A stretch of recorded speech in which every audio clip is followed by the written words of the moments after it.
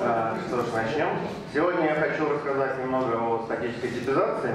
Вот этот доклад не будет каким-то хардкорным, это такой легкий доклад для тех, кто а, разрабатывает на JavaScript в браузере, кто никогда не пользовался а, какими-то статическими анализаторами.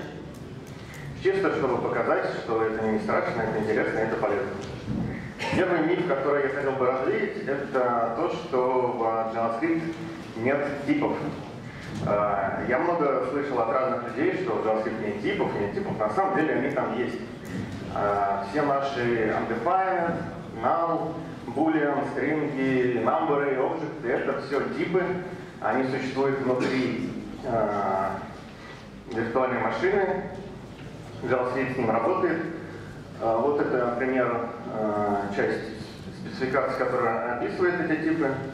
А, В новой спецификации недавно добавился еще новый тип symbol. А, Вот. Так что в JavaScript типы есть, хотя мы их не видим а, в коде. После того, как мы разобрались с этим мифом, перейдем к тому, вообще, какая бывает типизация, какая она в JavaScript. Во-первых, бывают языки, в которых совсем нет типов. Яркий пример это язык BrainFuck. Вот, там есть просто какие-то ячейки с данными, мы с ними работаем, и все. Что там хранится, не важно, потому что хранится все, что угодно. А, Ну, бестиповые языки нам сегодня не интересны, мы их пропустим. Бывают бестиповые языки, бывают языки с типами, и языки э, с типами делятся на несколько категорий. Вот. Первая категория — это динамические, языки с динамической типизацией. А, Что это значит? Это значит, что типы наших переменных могут меняться на протяжении там, выполнения кода. То бы это был string, теперь стал number, может с чем угодно оказаться, может быть нулем, в итоге undefined стать. А, Это очень удобно, это очень э, позволяет быстро писать код, но это приводит к тому, что у нас там могут появляться всякие undefined is not in function и всякое такое. Вот. Нужно быть аккуратным, э, используя динамические языки. А, В противовес этому есть языки со статической типизацией. А, Это значит, что компилятор э, накладывает ограничения на ваш код, а, он должен знать о том заранее, какие типы соответствуют каким переменным. Это позволяет ему до того, как э, код выполняется, проверить ваш э, код на типы, на корректность, на то, что вы не передаете там неправильный тип э, функцию и так далее, возвращаете неправильный тип из функции. Э, Что приводит к тому, что наш код становится чуть более там, э, понятным, корректным, правильным. Вот. И это позволяет еще хорошо интегрироваться со всякими IDE. Э, У многих есть э, такое ощущение, что статическая типизация — это Java, это многословно, там фабрики фабрик, э, сложные всякие OP-паттерны. Э, На самом деле типизация никак не связана там, с какими-то OP-паттернами или с э, Java. Э, ну, Яркий пример — это язык Haskell. Там как бы нет OP-паттернов, но там есть типы, они проверяются. А, Следующая пара категорий — это языки со слабой и сильной типизацией. Вот. Слабая типизация — это то, что было представлено в видео, э, которое, может быть, многие смотрели, JavaScript What, э, в котором мы э, складываем различные варианты э, наших типов и получаем неожиданные результаты. Вот. Это значит, что язык позволяет э, использовать различные типы в одном выражении. Э, У него, у языка существует какая-то таблица э, приведения одних типов в другие, э, незаметно для программиста. Э, Если кто не смотрел, обязательно посмотрите, а то там очень хорошо показано, как это работает. А, И, соответственно, есть языки с сильной типизацией. А, Например, Python, он не позволяет нам а, складывать объект с массивом, а, number со строчкой. Он а, ругается, правда, в рантайме, а не во время компиляции, потому что он тоже динамический. А, Вот. Дальше. Есть еще пара языков, э, пару типизаций. Первый э, вариант — это языки с явной типизацией. Яркий пример — это Java, э, в которой нужно как можно подробнее описывать, что у нас за типы используются, каким типам соответствуют наши переменные. Надо сразу сказать, что не все языки с явной типизацией настолько требовательны к вашему коду. А, для некоторых там достаточно указать а, небольшую часть, он дальше сам поймет. Вот. И в противовес есть э, языки с неявной типизацией. А, это в случае динамических языков это языки, которые совсем не позволяют вам описывать никак типы, например, JavaScript да, в коде. И в случае с статической типизацией это те языки, которые сами пытаются а, узнать о том, какие вы типы используете. Вот. И для автоматического вывода типов есть хороший а, простой алгоритм а, Хиндли-Мильнера. Советую вам почитать на досуге. Очень интересно, как на самом деле выводятся эти типы. На самом деле там все просто.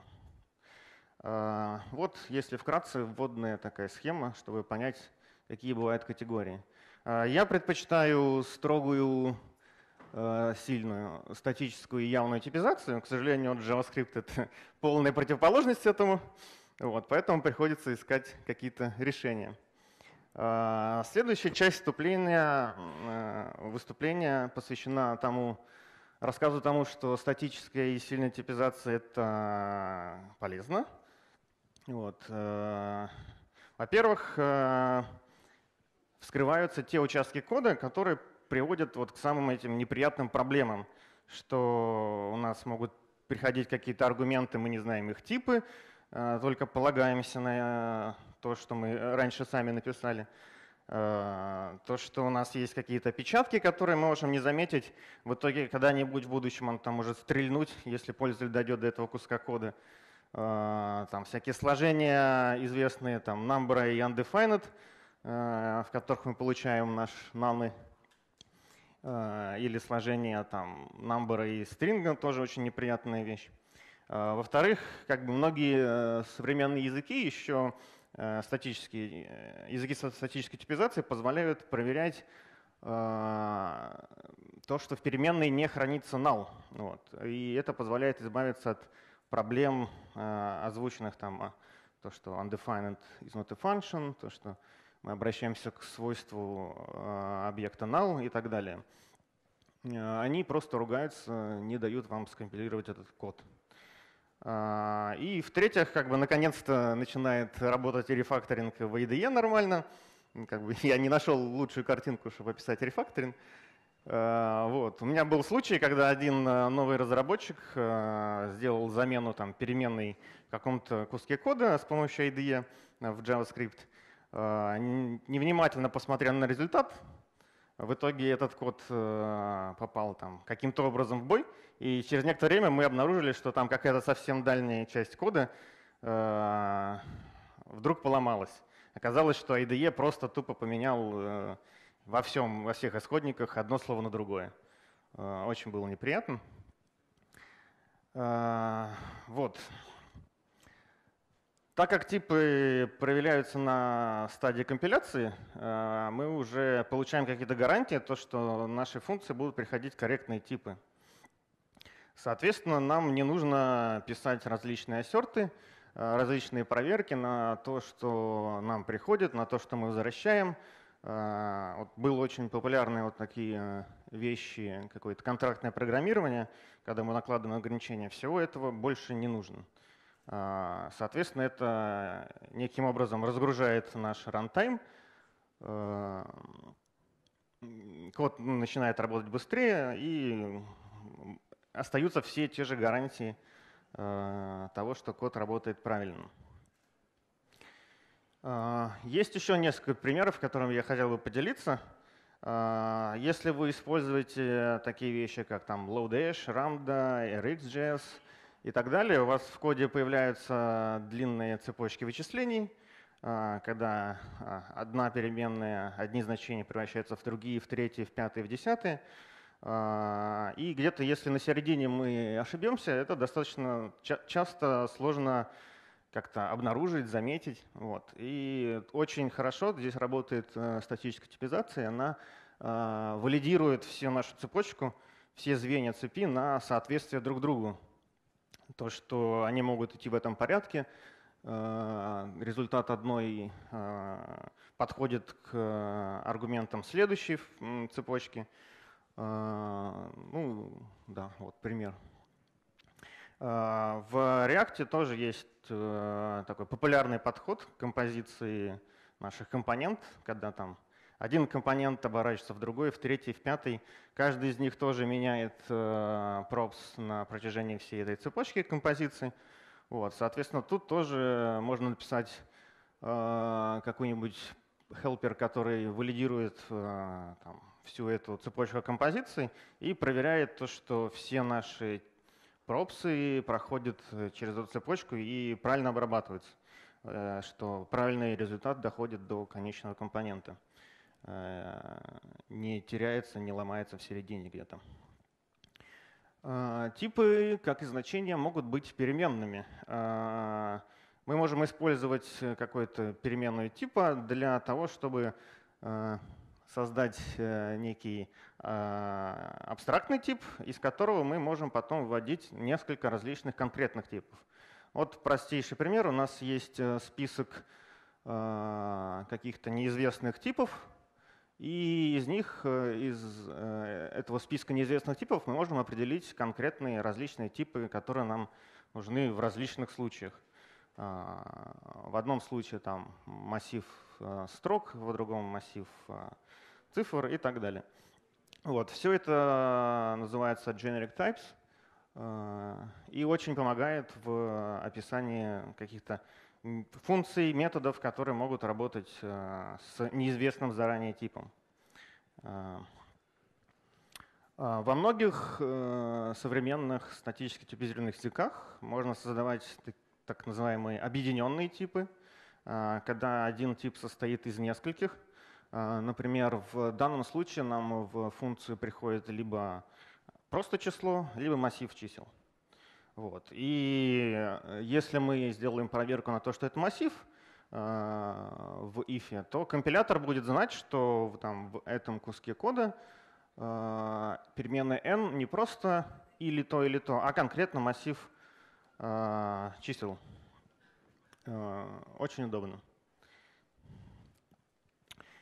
А, есть еще один миф, который я хочу развеять, то, что статическая типизация — это сложно. А, мне кажется, что это не так. А, на самом деле при разработке мы сами задумываемся о том, какие типы мы используем, из чего наши объекты состоят, какие поля, что там в итоге number или string.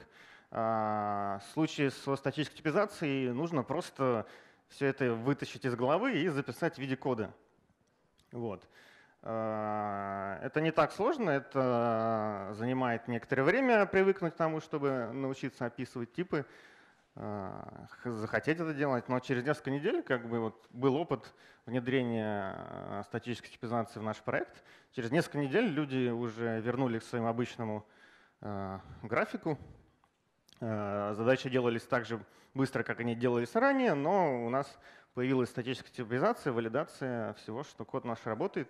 В итоге это вот привело к тому, что э, стал дешевле, например, рефакторинг, так как э, мы можем поменять э, название функции, и нам сразу будет ругаться, что там в 10 разных файлах, которые мы не знали до этого, э, все поломалось.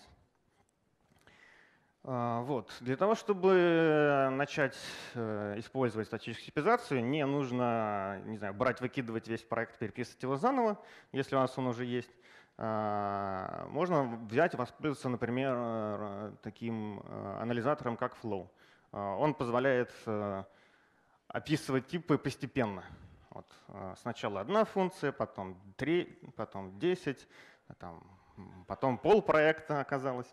Вот. И, например, он дает нам информацию о покрытии нашим кодом, нашего кода э, типами.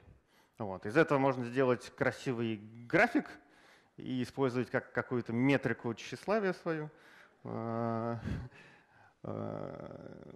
и стремиться там, к достижению 100%. Вот. Ну, если у вас как бы проект большого нет, где вы хотите, может, хотите сделать с нуля, то можно использовать уже гораздо больше инструментов, чем один. Вот. К счастью, как бы сейчас не обязательно использовать только JavaScript в браузерах. Вот. Э, есть много различных языков, которые компилируются в JavaScript в итоге. Вот. Давайте рассмотрим, какие есть э, э, статические типизированные языки э, у нас, которые умеют компилироваться в JavaScript. Э, вот есть некоторый набор языков, э, которые очень интересные, там очень си сильная система мощная проверки типов. Вот. Но, к сожалению, эти языки достаточно маргинальные. Я бы Э, не стал их э, тянуть в какой-то продакшн, э, но зато очень хорошо можно на них обучаться, экспериментировать, узнавать, что такое типы, как они работают и так далее. Недавно вышел язык Reason от компании Facebook. Достаточно интересный. Это некий такой вот OCaml мощный, но в котором добавили немного JavaScript, фишек из ECMAScript. Очень интересно. Советую посмотреть. А, следующая пара языков, э, которые тоже имеют статическую систему типов а, и могут компилироваться в JavaScript, это языки с, э, из мира JVM. Это Kotlin, а, хороший язык. Правда, у меня не дошли руки его попробовать. И есть Scala.js. Многие хвалят э, Scala и Scala.js за а, систему типов, которая там есть. А, но меня смущает в скале, что там есть null, none, nothing, nil э, одновременно. Это все разные вещи. А, плюс как бы очень сложно найти людей, которые готовы писать фронтенд там на скале. Если у вас вдруг есть э, множество разработчиков, которые там, умеют уже скалу и там, умеют Kotlin, и вы хотите написать какое-то реальное приложение, а не просто сайт, то это, возможно, выбор для вас. Вот. Я, к сожалению, не рассматривал эти варианты. Вот. А варианты, которые я рассматривал, это так называемые JavaScript-based э, языки, компиляторы, э, которые проверяют типы. Э, э есть их два самых э, популярных и рабочих. Это TypeScript и Flow. TypeScript — это инструмент от компании Microsoft. Это такой язык, даже экосистема а, поверх JavaScript, которая добавляет поддержку статической типизации.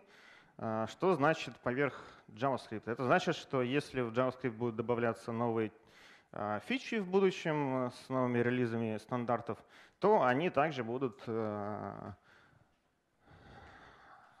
прорабатываться в а, TypeScript. Вот. Э, есть второй э, игрок, это Flow от компании Facebook.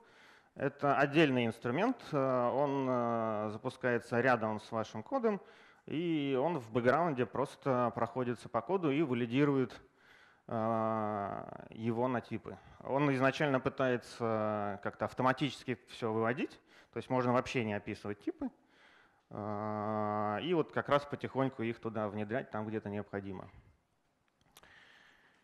Рассмотрим вот эти два варианта чуть-чуть подробнее.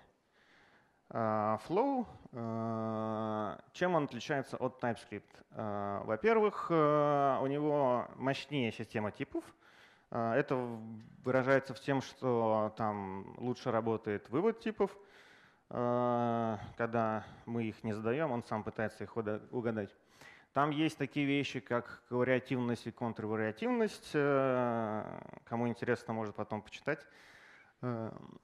Э, есть очень интересные специальные типы, например, dollar shape, позволяет указать, что какой-то из типов является некоторые, некоторая составляющая часть другого типа. Например, если вы знаете, использовали React, там есть метод э, setState, и он может принимать первым аргументом не весь объект состояния, а только какой-то вот кусок.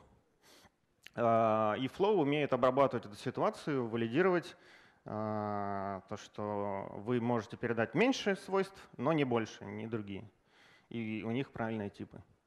Вот. Соответственно, там во Flow, как я уже говорил, достаточно легко стартовать, достаточно его скачать, запустить, добавить там, магические комментарии в файле, который вы хотите проверить, и он начнет его проверять.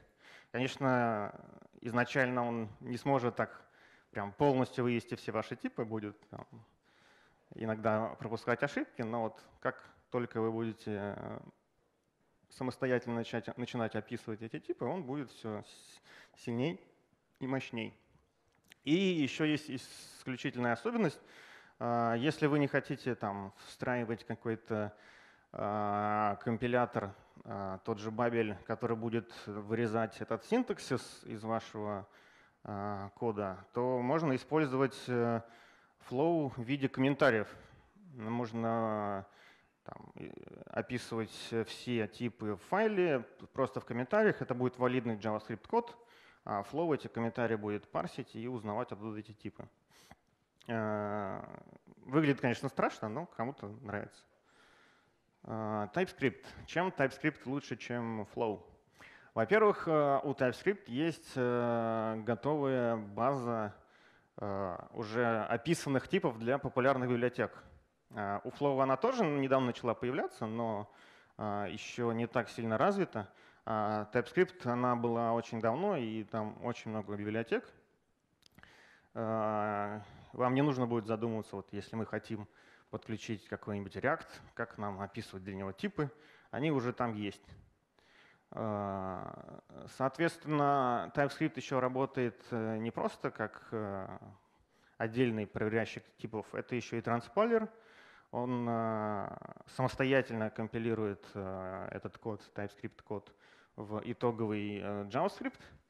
А, что это значит? Это значит, что мы можем указать, например, транспайлеру, что мы хотим там, версию ECMAScript 5 поддерживать, и он, проверяя э, ваш код, будет знать, что там, вот этот метод э, в объекте Object, например, не существует э, в ECMAScript 5. Вот, то есть у вас больше гарантий, то, что ваш код будет работать в итоговом там, браузере, который поддерживает там, 5 ECMAScript. Он умеет и в третий совсем ECMAScript, и в 15-16 транспилироваться. Вот. Э, а также есть еще интересный проект TestLint. Э, он отличается от э, там, ESLint и других, то, что он знает о ваших типах. Вы можете писать проверки, не основываясь не только на том, там, как выглядит код или что он там делает, а еще основываясь на том, какие типы вот, у той или иной переменной. Например, там есть э, э, плагин в TSLint, который проверяет то, что у вас э, при сложении два типа, тип слева и тип справа, одинаковые. Соответственно, с помощью этого плагина можно сделать сильную типизацию в TypeScript. Нельзя будет сложить number и строку, нельзя будет сложить там объект и массив и так далее. А, соответственно, что еще хорошо, вы можете описывать свои какие-то проверки, свои какие-то а, ограничения, расширять систему типов, которые есть в TypeScript с помощью TSLint. Вот. И еще одна особенность — это то, что TypeScript написан на TypeScript. Это значит, что вы а, гораздо легче сможете не знаю, внедряться туда, смотреть, что там происходит, изучать и модифицировать, может быть, для себя.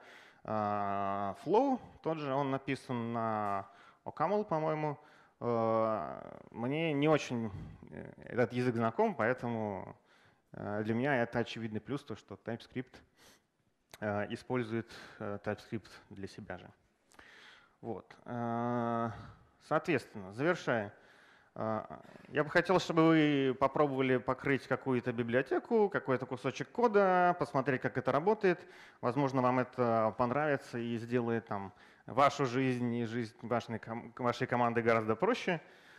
А, как бы, статическая типизация, в ней нет ничего страшного, она не влияет там, на а, скорость разработки так сильно, как принято об этом говорить.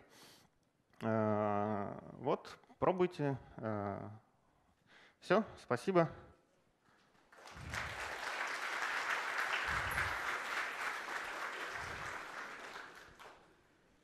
А, окей, спасибо, Вячеслав. А, сейчас, наверное, у нас есть время на вопросы, немножко больше, чем э, планировалось по агенде. Окей, вижу первый вопрос.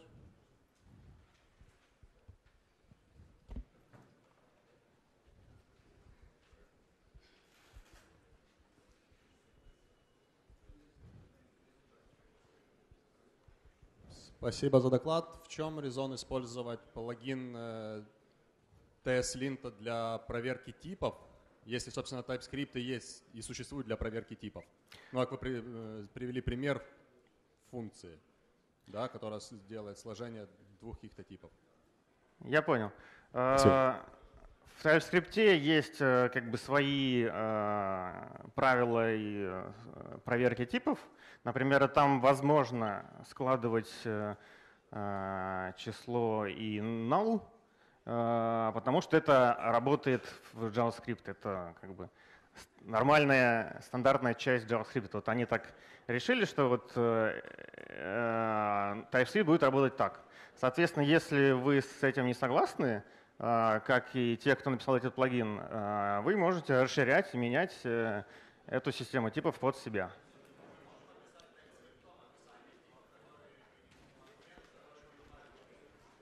Еще раз.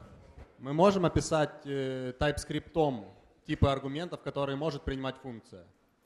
Мы можем... Ну, в описании функции мы можем... Да, мы можем в описании функции у Указать, аргументов что описывать аргумент типы. будет строка, а второй число. Можем? Да, можем. Зачем тогда TSLint? Ну, в смысле, плагин TSLint. А, он не для аргументов. Он тогда, когда вы пишете А плюс Б, он проверяет, что А и Б — это одинаковые типы. Это не про аргументы, а про сложение. Я понял, спасибо.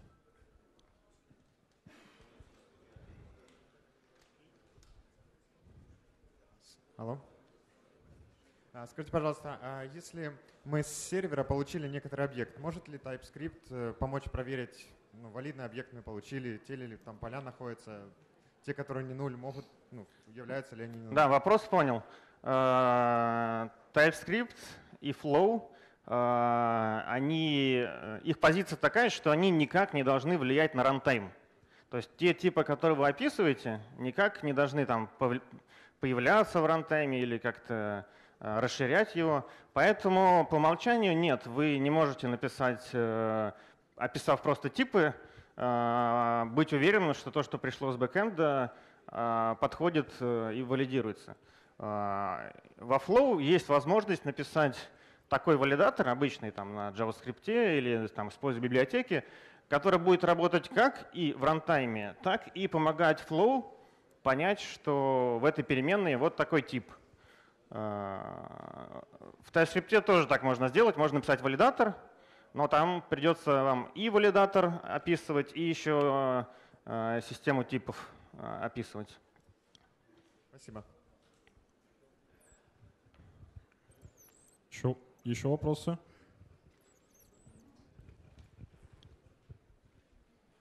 Сейчас. Алло. Э, два вопроса есть. Э, какой TypeScript вы рассматривали? Какую версию? Э, мы начали с 1.8, сейчас мы перешли на 2.0. И второй вопрос. Вы говорили, в Flow есть составные типы. Я не слышу, можно? Составные... Слышно? Да. Да. Вы говорили, в Flow есть составные типы. Угу. А в TypeScript их нету?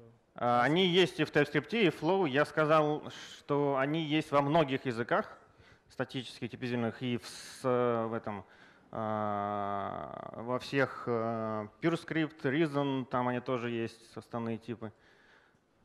Я просто не услышал. Да. В TypeScript они есть, также работают. По, хорошо, вопрос я не услышал по поводу декораторов. Вы рассматривали декораторы и как их можно использовать? А, в TypeScript есть декораторы, а, они как-то валидируются, но мы их не используем, потому что а, мы используем только те фичи языка, которые пошли в стандарт. Вот у нас такое правило в компании. Спасибо.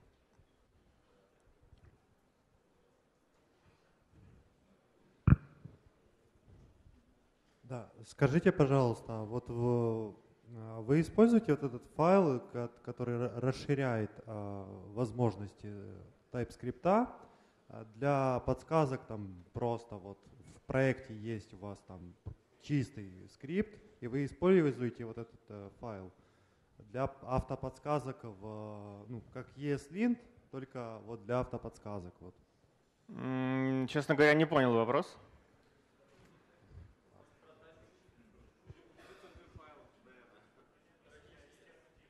Система типов для автоподсказок. Вот у вас есть функция. А, да, я понял. Если мы говорим про э, редакторы, про IDE и про систему типов, то э, мы используем TypeScript, соответственно, э, мы выбрали Visual Studio Code э, для работы, который очень хорошо с TypeScript интегрирован. И он э, подсказывает, он все делает как надо. И если у вас есть там тот же Э, пример с if. Э, он понимает, что здесь теперь это массив и подсказывает э, только методы массива, не подсказывает там другие какие-то методы. Там встроен и lint, и сам TypeScript компилятор, он ругается на ошибки, что там такое свойство не найдено. То есть все есть. В WebStorm тоже это все работает. А, он умеет работать с TypeScript и Flow. А, тоже валидирует типы, выводит э, комментарии, автоподсказки. Лучше работает, чем они работают просто в JavaScript. Вот так вот. Спасибо большое. Еще вопросы? Ну, пока в этой части. Есть вопрос по поводу runtime эрроров. Uh-huh. Если я получаю runtime error в скомпилированном коде, когда пишу на TypeScript, StackTrace э, выдаст мне ссылки на строки скомпилированного кода, либо же есть решения, которые укажут мне на строки TypeScript. Которые... Ну смотри, по умолчанию это работает так же, как и в JavaScript. По умолчанию StackTrace выводит то, что есть там в компилированном JavaScript. Но если воспользоваться source-мапами, а, TypeScript компилятор Transpiler умеет э, работать с source-мапами, то в э, DevTools будет виден оригинальный код и ссылка на него, ссылка на строчку, на даже колонку э, будет работать. Спасибо. Это вообще работает с любыми языками, которые умеют source-мапы. Вот, можно там даже самый необычный язык э, как-то сопоставить с итоговым кодом с помощью source map.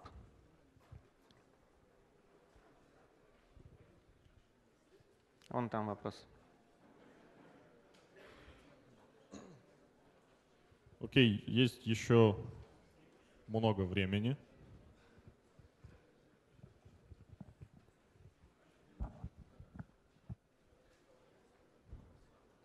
Спасибо, о, боже мой. Спасибо за доклад. Э, такой есть вопрос. Вот вы переводили большой проект на TypeScript, правильно? Да. Было такое. Э, ну вот на бумаге это выглядит достаточно, ну просто подключить э, транспайлер. Были какие-то проблемы, с которыми вы столкнулись? Вот такие, которые запомнились, и вы мне сейчас скажете, и я не буду делать ваших ошибок больше. А, ну, дайте подумать. Первое, что, с чем мы столкнулись, это то, что э, люди, которые не работали с типами э, до этого, у них э, э, отсутствовало понимание, что такое generic types. Вот. Э, поэтому приходилось обучать, приходилось э, рассказывать, объяснять, экспериментировать, э, чтобы люди научились. Ну, как бы это на самом деле достаточно простая вещь, э, и там, заняло возможно, несколько дней, чтобы экспериментов, чтобы люди поняли какие-то особенности этой. Э, есть, э, например, некоторые особенности самого TypeScript. Если описать интерфейс какой-то, в котором все поля не обязательны, то в переменную с этим интерфейсом можно будет ставить что угодно. И там number, и string, э, потому что как бы string э, это тот же самый объект, в котором просто все эти необязательные поля отсутствуют. Поэтому он так вот работает. Э, это надо один раз запомнить и не, стараться не делать интерфейсов, где все поля не обязательны. Вот. Больше я ничего не могу вспомнить такого серьезного. Возможно, вот, есть места, где не очень хорошо работает вывод типов. Например, если мы объявляем э,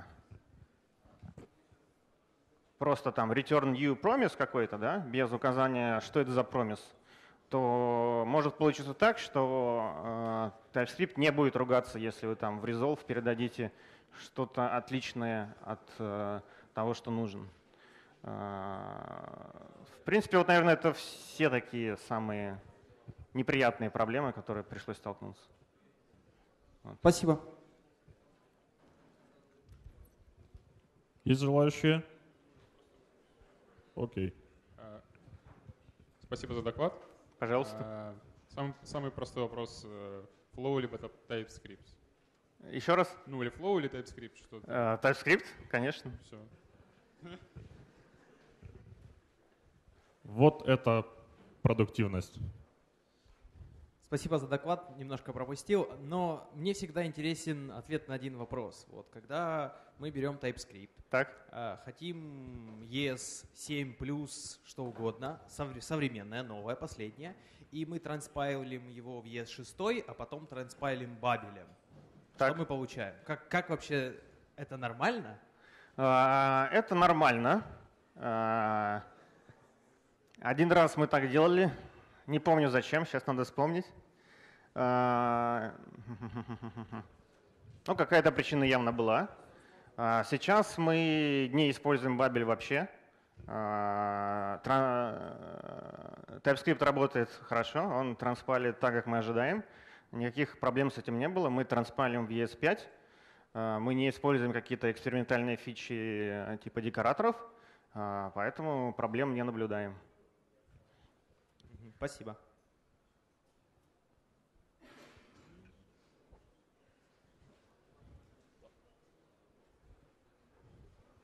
Да, спасибо за доклад. У меня э, ну, обычный вопрос такой, наверное, который мог возникнуть у многих э, по поводу подключения сторонних, э, вот ты сказал, определений, то есть можешь сказать пару слов, как их подключать, да, допустим, для того же React, там jQuery, неважно, там D3, uh-huh. вот, и что делать, ну или как подключать какие-то свои definition, потому что если мы описываем, там, неважно, интерфейсы, там, скажем так, э, алиасы какие-то свои используем. То есть тоже куда это складывать, ну, наверное, не, не в файл, а как вы это делаете, наверное, ваша практика. Э, начну с э, ответа на вопрос, как работать с типизацией внешних библиотек. И в TypeScript и во Flow есть инструменты для работы с этим, которые похожи на NPM. Вы просто им говорите npm install инструмент install э, React, и он установит вам, вам типы для React. Э, в TypeScript 2.0 появилась возможность избавиться от этого инструмента. Сейчас все вот эти определения типов присутствуют в NPM. Вы можете установить сначала npm install React, а потом npm install собачка types slash React. Вот, и там будут храниться типы TypeScript для React. А, второй вопрос, как мы описываем типы а, для чего? Свои типы? Ну,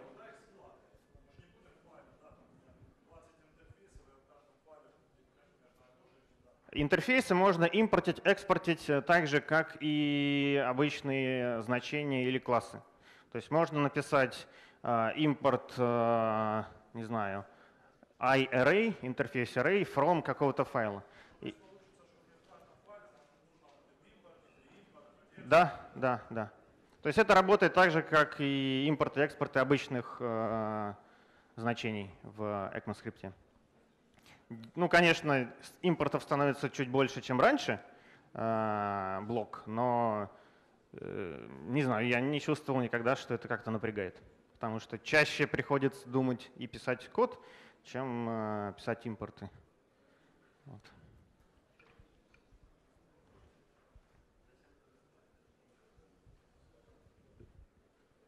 Спасибо за доклад. Пожалуйста. Э, а не могли бы вы назвать, э, ну, на ваш взгляд, какая основная причина ввода типизации в JavaScript? Основная причина строгой типизации? Да. Зачем использовать, в смысле? Да. А, Мы начали смотреть в эту сторону а, по такой причине. А, У нас сейчас сильно расширяется команда, резко, поэтому мы э, набираем много людей, и нужно как-то чуть больше иметь контроля за качеством кода, который есть.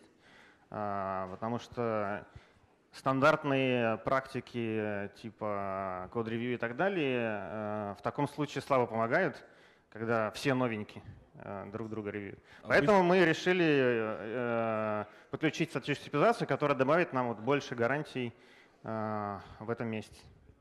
Ну, то есть вы отдаете это на откуп э, TypeScript, да? И- Ну да, да.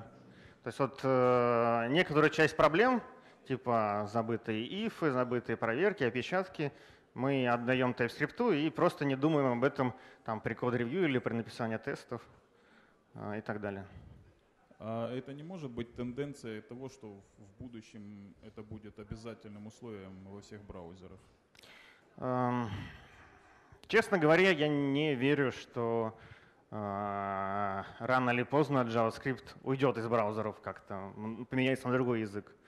Э, Или там добавится э, строгая типизация обязательно. Э, В это я не верю. Вот, поэтому вот так. Спасибо. Окей, э, я думаю, что вопросы э, можно задать Вячеславу лично. Сейчас у нас 15-минутный перерыв. Да, поблагодарим Вячеслава.